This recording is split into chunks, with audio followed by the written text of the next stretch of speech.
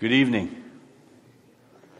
I'm going to ask you just to pray with me for Stephanie Hart. Lord, we just lift Stephanie up to you. And Lord, I pray that uh, the stem cells that were put in her yesterday, Lord, would make their ways to the right place in her body, that they would be completely healthy. And Father, there is no cancer in that body. We thank you, Lord. We praise you. And Lord, I ask you just to heal her and make her strong be with her husband, Josh, be with their four young boys. But Lord, restore health to that family in Jesus' name. Amen. Amen. Good evening. If you have your Bibles, open up to 1 Corinthians. What we're going to talk about tonight is we're going to talk about communication. Communication is really big in marriage, um, but it's really big in life. Uh, we really don't always communicate that well. And so I'm going to teach you something that I believe is totally scriptural. It's something in Jesus' life. It's something I learned at the first marriage conference I ever went to in my life, and I wound up getting saved when I left that place. So we're going to talk about communication. The first thing I would say is all relationships need honest communication. But we have to be good communicators. In 1 Corinthians chapter 7, all right, verse 5, it says, Do not deprive each other except by mutual consent. Now, I haven't read any more of that because then we'll get into the context and I'll lose everybody because it's in the context of sex. Don't deprive each other except by mutual consent. But if you're going to have mutual consent, you have to communicate, don't you? And so when young people get married and they come to me before they get married, I tell them that they have to know those two words before I'll marry them. And sometimes when I go to pray with a groom and with a bride, I, I have a lot of fun. I say, Tell me those two words, or we're not going through with this. They have to know mutual consent. And I tell them it works in everything in your marriage. You strive to have mutual consent. Now, in your life, whatever the relationship is, wouldn't it be better if there was some mutual consent? If you could actually communicate and if you could actually talk about things and if you could come to mutual consent. Sometimes mutual consent is we disagree on this. But I love you and we're going to we're going to go our separate ways on this issue, but we're, we're not going to fight over it. We're going to come back to it again, okay? But those two words, mutual consent, all right? Go to John chapter 15, verse 15, and listen to the words of Jesus. He says to his disciples, I no longer call you servants because a servant does not know his master's business. Instead, I have called you friends, for everything that I learned from my Father I have made known to you. The greatest communicator, I believe, on the face of the earth that ever walked was Jesus. And Jesus said to his disciples, Everything my dad told me, I have made known to you. You guys aren't my slaves. You are not my servants. I call you my friend. I don't know if you understand how awesome that is that Jesus says, I call you my friends the creator of the universe. And he says, I'm not just calling you my friend, I have told you. I have communicated to you. It's why Jesus says things to his disciples like, all those, you know, all these wise men before you long to hear what you guys are hearing me say. Isn't that something? Where God came and actually spoke and he communicated through Jesus, all right? Now, how many people here have ever heard don't go on feelings? Have you ever heard that? Man, I hear that in church all the time. I don't feel this, I don't feel that. But feelings need to be dealt with, don't they? Feelings need to be dealt with. A lot of times, a spouse needs to know how their husband or how their wife is feeling. But there's this thing in the church well, we don't go on feelings. I'm going to debate that a little bit. Let me ask you a question Does God have feelings?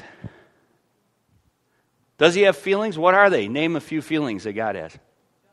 Jealous. I love that one. It's one of my favorite ones. He's a jealous God.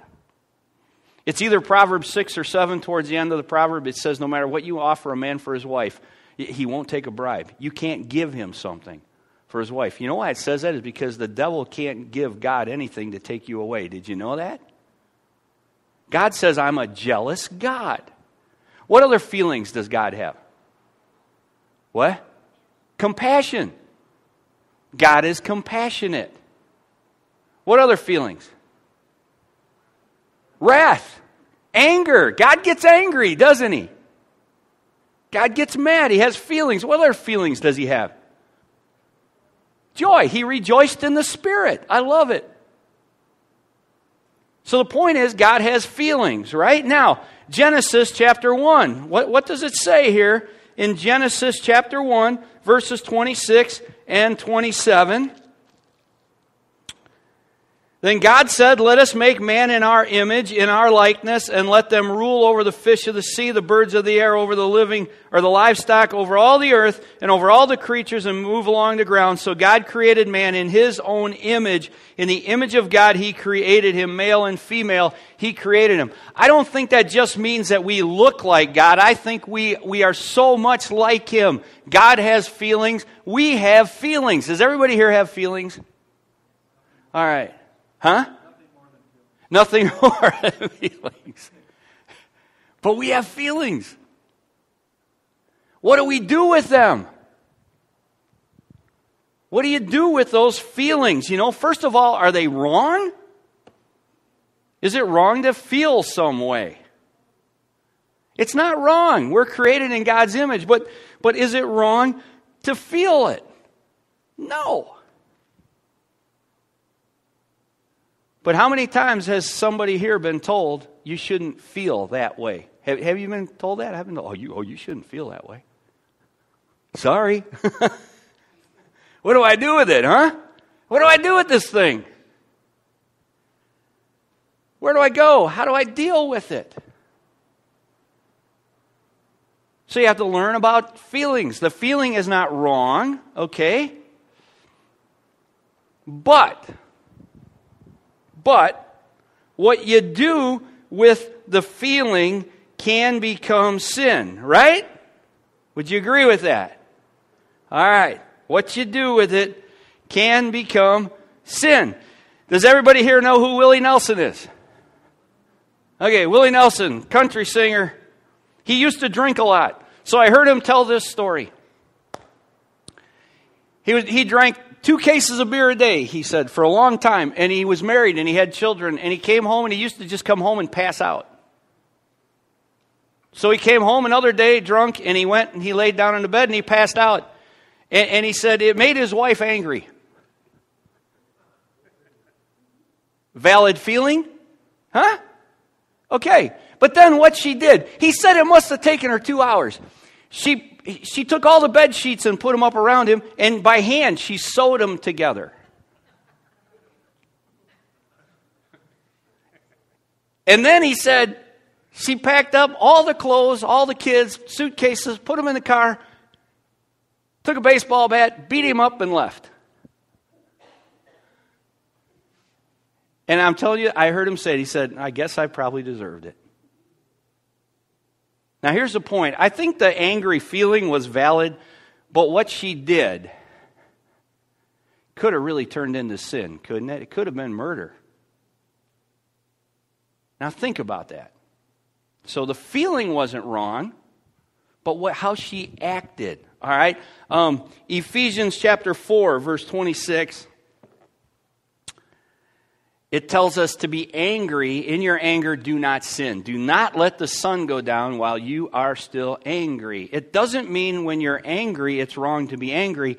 It means what's wrong is how you deal with your anger.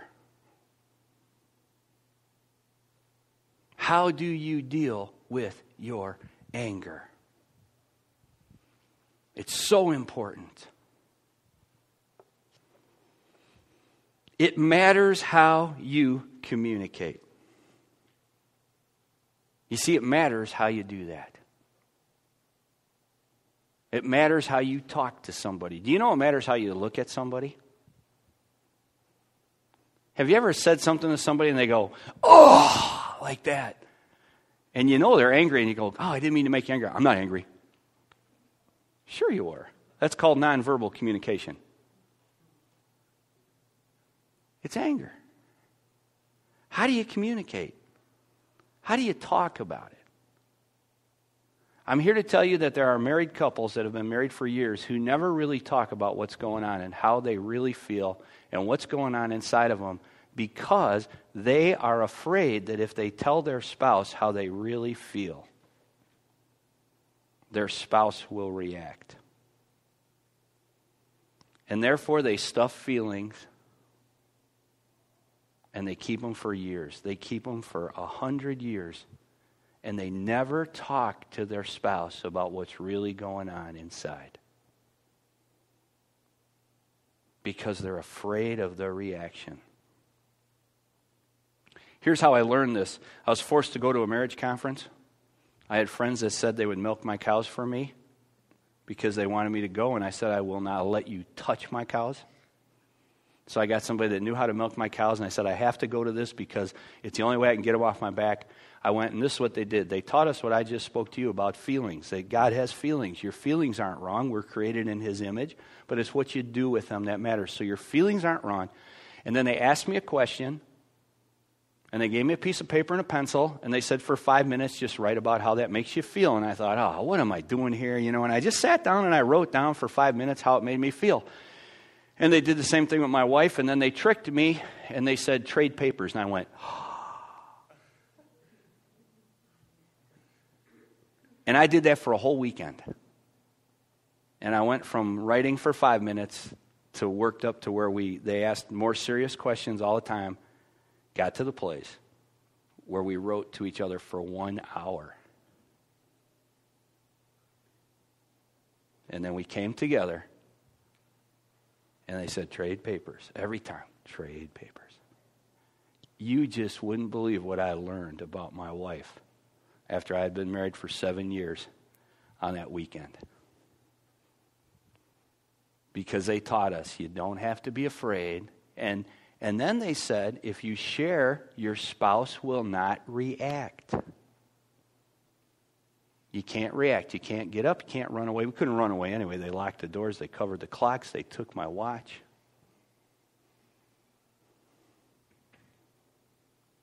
And for an hour, we did that. You want to know that for about five or six years after that, my wife and I,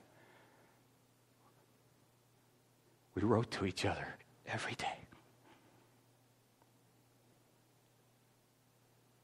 We'd pick a question, okay? How do you feel about four kids running your life? Good question.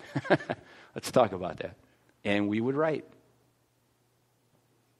And we had rules, you know. You couldn't walk away. You couldn't, you, you know, you had to communicate. It's called dialoguing. Then one day we quit writing, but now we talk. We learn to talk about things. Because if you don't, you will never talk. And I'm telling you, this works in marriage, it works with your boss, it works. You will never, ever communicate and be able to say what's on your mind unless you know that person, see, isn't going to run out of the room, isn't going to run away. Brings me to my hot dog story. I tell this too to every couple that gets married. None of them are in here tonight, so I'm not giving anything away. Two, two people come in, husband and wife, they sit down. The wife says he's having an affair. I say to the guy, Are you having an affair? I'm not having an affair. I swear I'm not having an affair. I say, Well, why do you say he's having an affair? Every Tuesday night he doesn't come home. I'm like, That's the craziest thing I ever heard of. Why don't you come home on Tuesday night? And I look at the guy and I go, You sure you're not having an affair? I'm not having an affair, I'm telling you. I go, Okay, why don't you come home? He says, Because of hot dogs. I said, That's the dumbest thing I ever heard in my life. I said, Why not, What do you mean hot dogs? Why don't you come home? He goes, My wife makes hot dogs every Tuesday night. I said, No, it's really stupid. He, he said, I hate hot dogs. I look at his wife. I go, You know he hates hot dogs? I, I never knew that. How long you guys been married? They've been married for years. Why, why didn't you tell her that, you know? Why didn't you tell her you don't like hot dogs? Are you kidding me?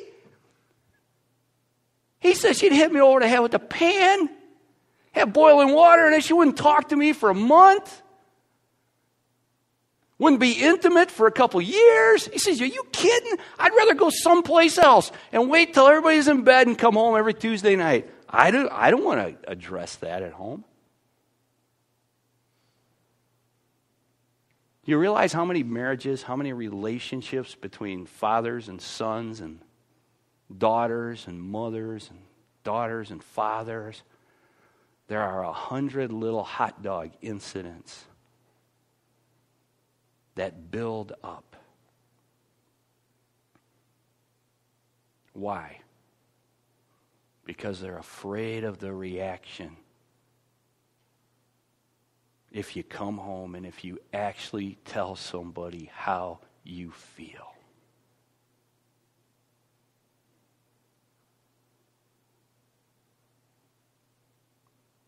Honest communication. Some marriages never get past what the weather's going to be today, what we're going to wear, where are we going to go for dinner tonight, what would you like to eat? You know, what color car do you want to buy?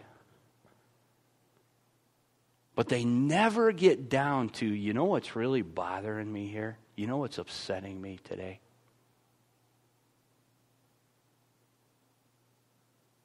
Some kids can never say to their parents, I'm afraid. I'm afraid I might fail.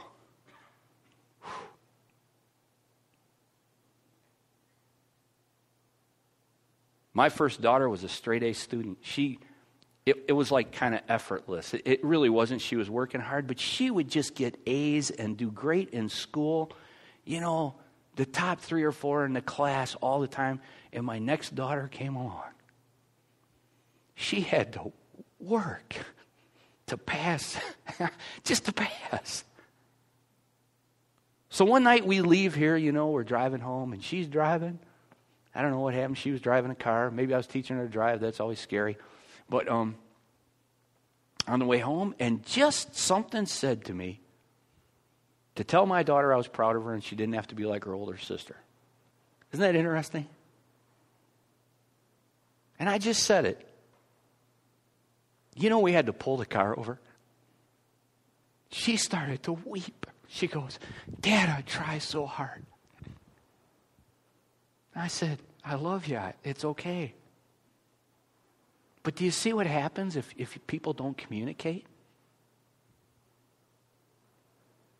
If they don't trust the person they're talking to, if they hold back, you know, I mean, think about Jesus. The night that Jesus was going to the cross, he said, You guys, I'm so I'm sorrowful unto death. He said, I am so anxious over this. I could die right now. And he was about to sweat drops of blood. He didn't hold that back from his inner circle, did he? He told his he told Peter, James, and John. He said, You guys, I, I have I have anxiety in my life right now.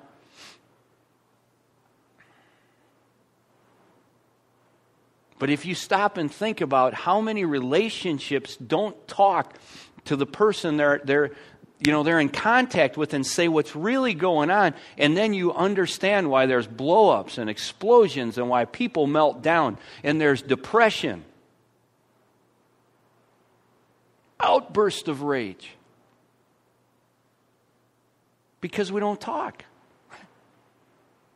Because there's no communication. Mutual consent, okay? It matters, okay, how you communicate. Have you ever met somebody that thinks it's just cool to come and just smack you in the face with some true statement? Like just at the worst time in the world? Christians are really good at this. Some Christians just have the gift of discouragement, or they just they love to take somebody's legs right out from under them with a well-placed scripture. But you know what? I don't see that converting souls so much. I really don't.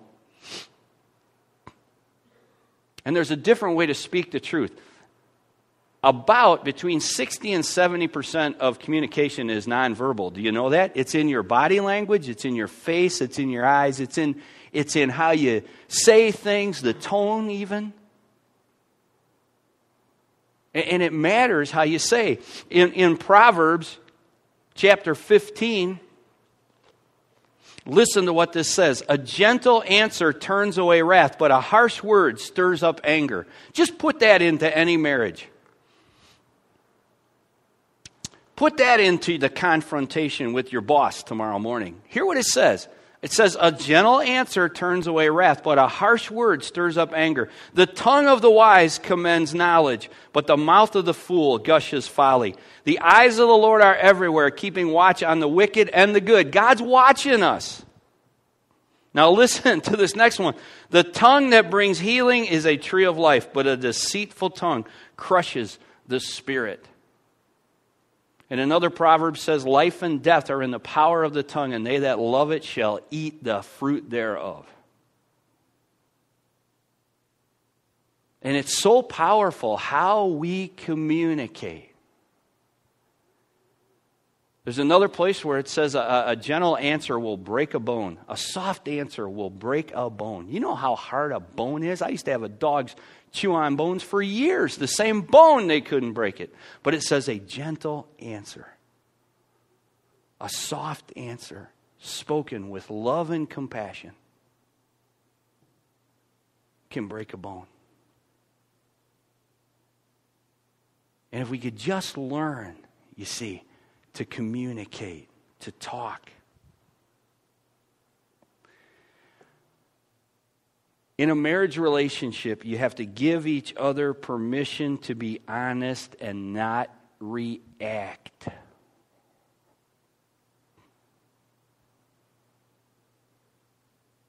It's so good sometimes to ask permission. You, you know, I ask people, I, I, I just say, do, do you want me to, is it okay if I tell you the truth, or do you want me to lie to you or dance like around what I'm thinking right now? I really do. I've never had anybody say, lie a little, dance. They've never said that. And I just say, I, you know what? I love you, but this, like, this won't work. You know, this can't work because, and it's not me, it's God sees it, and it can't work.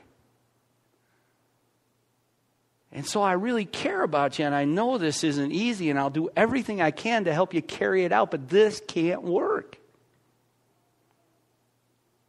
And if you, if you can learn to say it with love and compassion and not be angry, what you got to do is get rid of the anger and the malice and the unrest in your own heart first.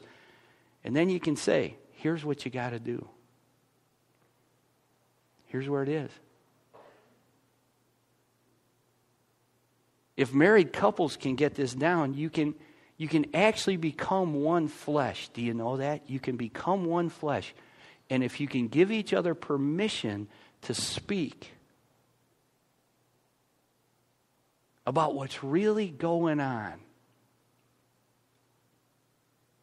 you can become one flesh. You can do what the marriage vows say. I will let you fully into my being. I always marvel at those vows. I love them, and then I'm thinking as we're taking a couple through them, well, we're going to find out in a few years how you guys did here. But isn't that what it's about? Now, let me ask this question How many of you are even honest with God? Isn't that just the craziest question? I, I mean, it amazes me. People don't even tell God, or I guess they think if we don't think about it, He won't know it or something. God knows. But, but I want to give you an exercise that I think is awesome in this, in communicating with God. I, I tell God sometimes, I say, Lord, Lord, I'm so mad right now, and I don't know why I'm mad, but I really need your help because I'm like ready to come unglued here. If God doesn't answer me, I go talk to Pastor Steve or Dan or somebody, you know. but almost always God goes, Well, here's what it is, man. Here's what it is. You know what he says to me so many times? He goes, You just didn't get your way. Oh. But isn't it great to hear that? Isn't that, isn't that awesome communication with your Father in heaven? And sometimes he'll say, just wait, man, I, I have something so much better for you if you'll be patient. Just be patient.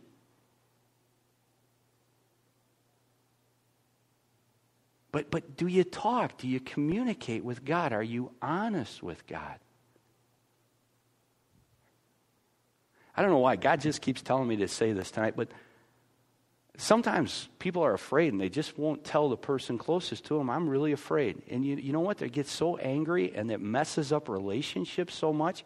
And it would have been so much easier just to say, I'm really afraid I'm going to fail here. Or I really have a lot of pressure on me for this reason.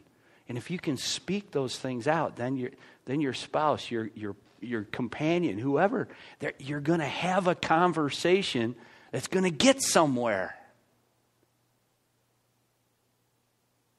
But it's all how you do it. You can't get up and run away, okay?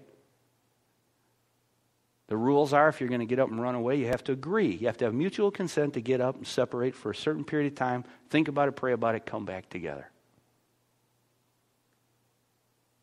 It's really something, isn't it? It's so simple, but it just isn't happening. If it were happening, we wouldn't have the divorce rate we have. We wouldn't have the nuclear family explosions that we have. If we could just talk.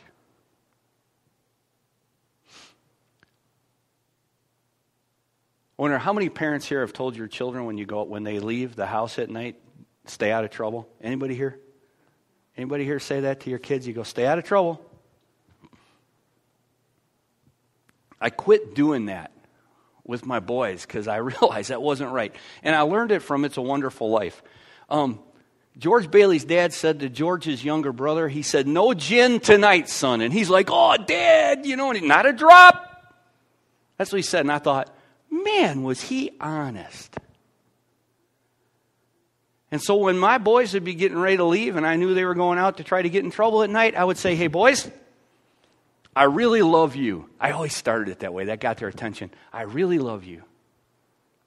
And I said, You're capable of getting into trouble tonight that I can't get you out of. So I said, I love you so much. Please don't get into trouble.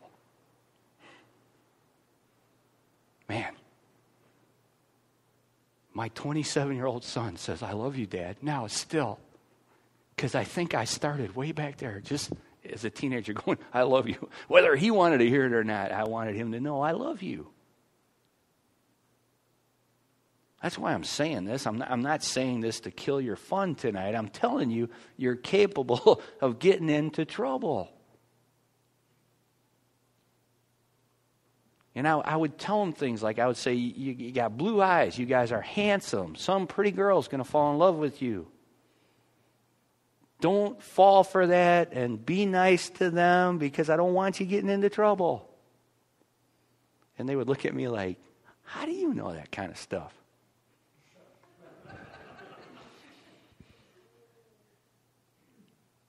but can you be honest? Can you speak what's going on inside?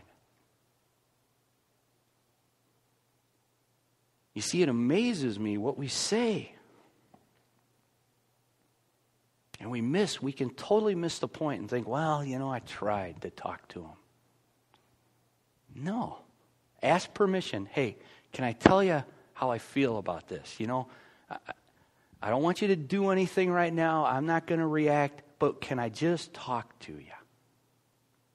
Can I just talk to you?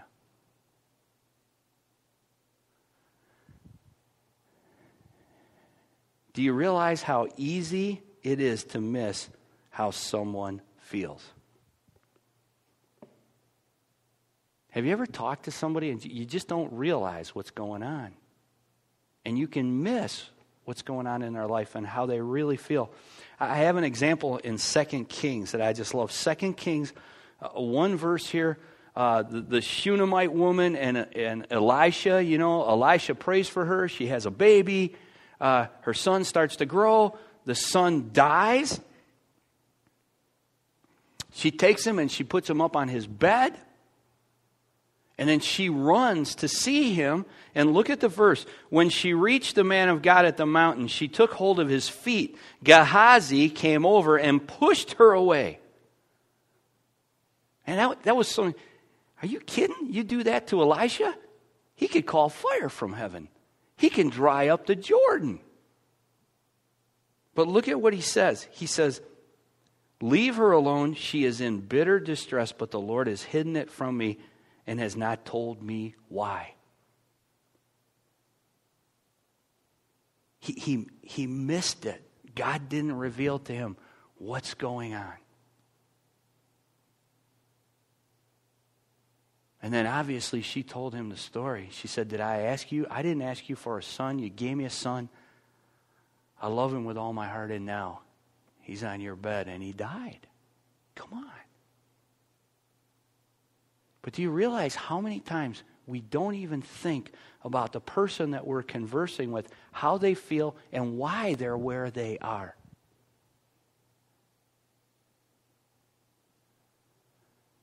Man, I, if there's one lesson I've learned, this is so awesome in ministry and in everyday life, is before I judge somebody by what they say or how they come across to me, or if they're happy with me or if they're angry at me or whatever, is God says to me, try to understand why they are like this. What happened? Why is this person like this? Why do they feel like this? What went on in their life? Try to understand it. And if he when God gives you understanding, And sometimes I'll, I'll, listen to a person's story and they'll say, I don't know why I'm such a mess. I'm having such a hard time. And you know, after I hear their story, I say, you know what? I'm amazed that you're even sane and able to sit here with me after what you just told me what happened in your life. And they perk up like, Are you kidding me? I'm like, Yeah. Now, now let's get together with Jesus and rebuild this life, okay? But, but if I didn't listen to the story and if I just said, well, don't go on your feelings, you know, oh. You just totally missed the point with somebody that Jesus died for on the cross.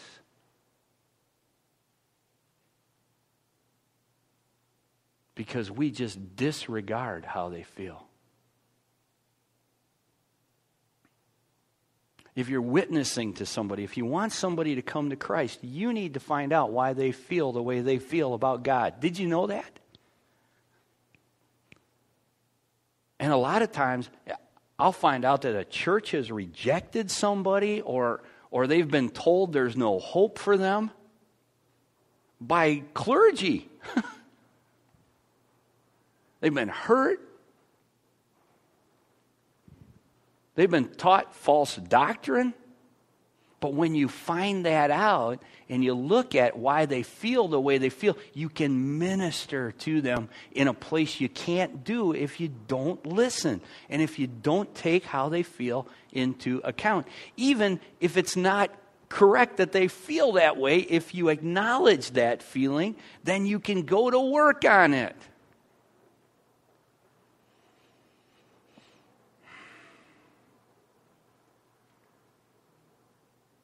When I was in third grade, my dad moved on a farm. It probably saved my life, man. He taught me to work, you know, and I couldn't get into too much trouble because we were always pretty tired. But I farmed my whole life, and that's all I ever wanted to do. I figured by now I'd be running most of northern Illinois and southern Wisconsin. I, I really did, man. I just figured I was going big and going to conquer the world, and that was it. At that first marriage conference, one of the letters my wife wrote to me said she didn't like farming. I was like, oh. Huh? Boy. But you know what? That was a valid feeling. And then I found out why. I mean, because she didn't like borrowing money, and we didn't pay for anything. We just signed and took it home, you know. But I, I, found that out. But you know what? Because she would never tell that to me before we went to that marriage conference because she knew I would react in such a stupid way.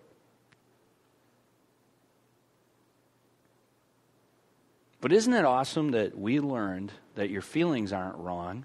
And when you share your feelings, you don't have to react on them. You don't even have to act on them. But it's good for your spouse to know how you really feel about something. And I had so much understanding.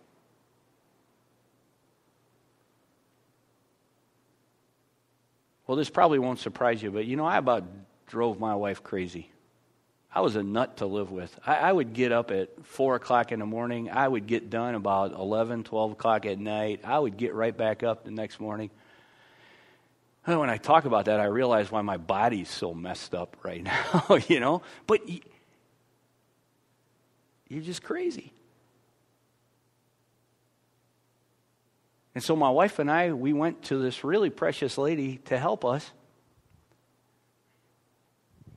After I learned, you know, that my wife didn't exactly like farming, then you know what I found out? This lady says, Have you ever considered doing anything else? And you know what my answer to that was? No. Are you kidding me? I love this. I can't walk. I've had hernia operations. I'm all beat up. Got a bump in my forehead permanently. But no.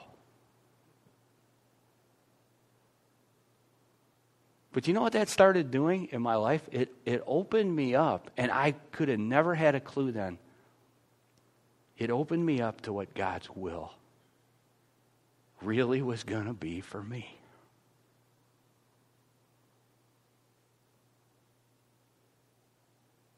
And it was 11 or 12 years after that marriage conference. The first time I heard, hey, I don't really want to keep farming, or maybe this isn't the right place to be, you know? And my brother and I just decided it's time to quit. We came to a mutual consent. Isn't that something that was just miraculous? Because we fought about everything we came to mutual consent to give it up, sell it. And from that day forward, I have just been going towards doing what God wants. Isn't that amazing? But if we hadn't gone to that conference, if I didn't learn the scriptures I learned, and if I didn't hear about my Lord and Savior, And if I hadn't learned to sit down and actually listen and to talk,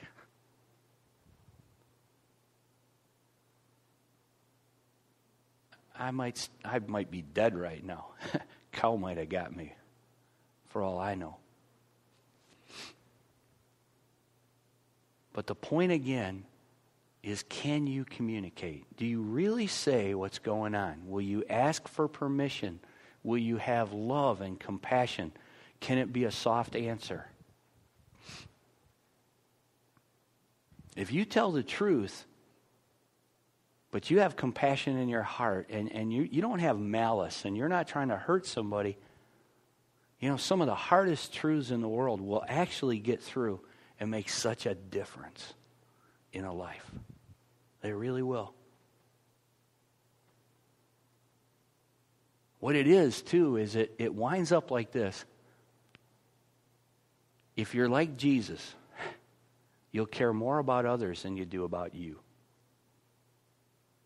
See, that's why he died on a cross. It says that, that he demonstrated his love for us. Talk about nonverbal communication. Jesus dying on the cross. Saying, I love you guys so much, I'm going to die in your place. And I don't call you my servants, I call you my friends. I told you everything my dad told me. Isn't that something? Imagine how this world would be if we could be honest like that. If we could actually communicate. How powerful that would be. One more story we'll end. I've told it before, but it's such a good story. Have you ever been so mad that you just could spit your teeth out and you, you couldn't see straight and the whole world was ending and nobody could talk to you and make a difference. And so I got that way one day because my hay chopper was broke, my corn chopper was broke, everything on the farm seemed to be broke. I was broke. I didn't have any money to go buy parts. And like I was so frustrated, and I went and told my wife, like, I'm tired of this, and this is crazy, and blah blah blah blah blah blah. And I was so mad, and she tried to love me and be nice to me, and I just said, can't take that. So I went stomping out the yard, and I was going to go beat up some machinery or hit a cow or something like that. You probably didn't know I had a temper like that, did you? Anyway, she came to the door and she yelled, Dave Adams, I love you. It about killed me. I just had to stop and go, forget the machinery, you know? Forget it. See, communication. The only way to get through that stupid feeling I had and that anger and that rage if she would have, if she would have described me for what I was really like that day, I would have just gone, yeah, I suppose you too. I would have just kept right on going mad. Isn't that what Jesus does to us when we're separated from Him and running the wrong way? And He doesn't say, I'm going to roll you up in a ball and throw you into an eternal fire. He knows how to communicate. He said, I love you so much. I died on the cross in your place so that you can have heaven. Wow. So, as we end tonight, I want you to recognize something. Feelings are real, they really are. And you and I weren't built just to stuff them and never talk about them and never deal with them. And man wasn't created to be alone, man and women. We were not created to be alone and to live on some island. We were created to be in fellowship with other human beings. So, can we learn to communicate? Can we learn, especially in the marriage, especially in the families, to say, you know what? This is how I feel right now. I'm not gonna, I'm not gonna do what that lady did to Willie Nelson. You know, I'm not gonna do this, but I am. I just want to tell you this is how I feel. Help me. Let's talk about this. Let's understand this. And you know what, folks? It will open up. It will open up those lines of communication. It will get to the place where, where, where you can have good, meaningful relationships.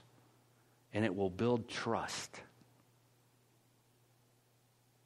If you don't think you can do it with a human being, start with Jesus. I have to tell you, I can tell him anything. And he just, I love how he deals with me and how he comes back and speaks to me. Father, we come to you tonight. Lord, I, I ask you to take this. Lord, I believe this is your character. Lord, I believe this is something you want to speak into our lives and you want us to live like you did, Jesus. Lord, you looked at people and you read them so perfectly. But Lord, we have the same Holy Spirit that was helping you read others. And if we'll have that love and compassion, and if we'll open ourselves up, Lord, we can have those kind of relationships where we can help one another and where we can have mutual consent and we can, we can disagree and then come to agreement. And, and out of that will come some awesome, godly solutions. Lord, take this word tonight, everything from you planted in our hearts. Lord, Lord, I ask that you would heal relationships. Lord, let this be a key where we look at somebody and ask for revelation from you, Lord, on why they are the way they are. Why do they feel that way? Why are they that way? And Lord, give us the key. Give us the patience and a soft word and love and compassion so that there can be healing in those relationships. Because, Lord, we want to represent you in Jesus' precious name. Amen. Amen.